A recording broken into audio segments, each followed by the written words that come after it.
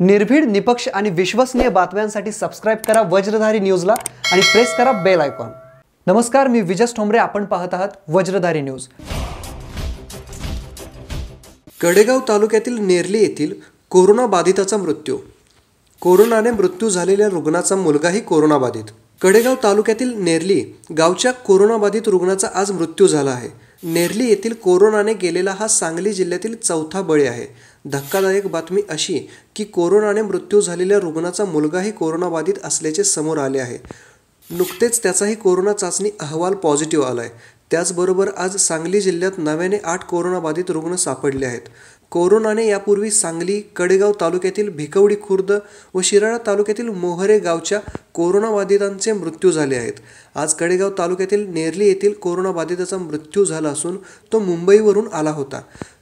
सांगली जिल्ह्यात कोरोनाने घेतलेला हा चौथा बळी आहे. तर कडेगाव तालुक्यातील दुसरा बळी आहे.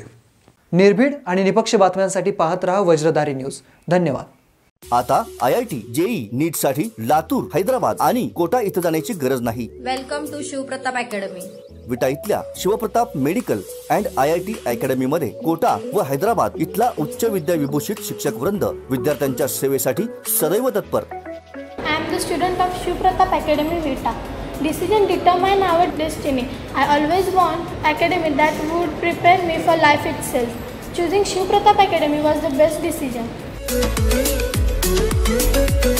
Shivpratap अकॅडमीमुळे मी यशस्वी झालो तुम्ही सुद्धा यशस्वी व्हा しい